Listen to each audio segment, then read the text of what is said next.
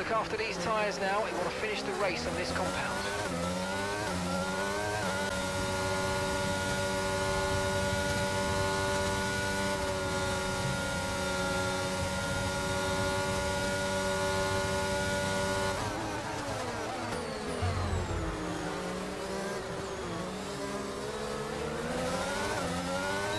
Oh my gosh, no way I did that. I just, oh, I did that last, last corner. Last corner I That is a did that. And from doing that, I hope. Lando also could reach.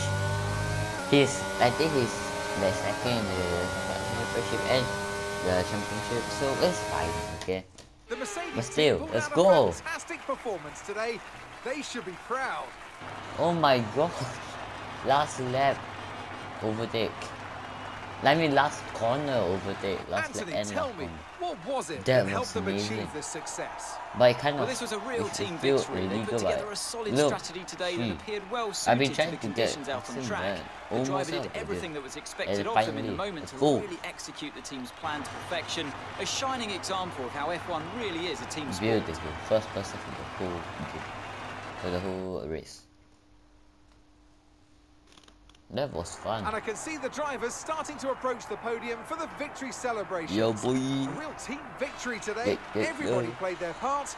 Congratulations then to Mercedes, your race winners.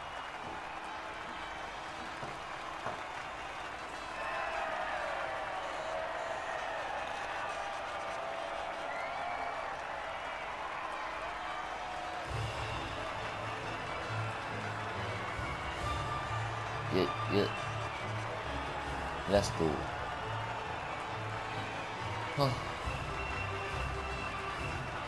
It's been a heck of a weekend.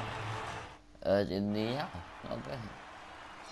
Qualifying was just too boring. Let's have a quick look at how the drivers' standings have changed. Another solid result That's for our 30 championship leader today, allowing See, them Lando to extend the gap second, between themselves and the rest of the standings. back. Let's focus on Max the driver of the day, Anthony Davidson. Matt, what are you you doing? Well, you I'm going to have to give it to the Lando. What are you Mercedes driver. They did a great job at getting the most out of their tyres Max without losing pace, something that's a very Oh handy skill to have in modern day Well, Formula I'm One. going to Let's move go on to the that on the constructors. TV again and again and again because the last corner After an event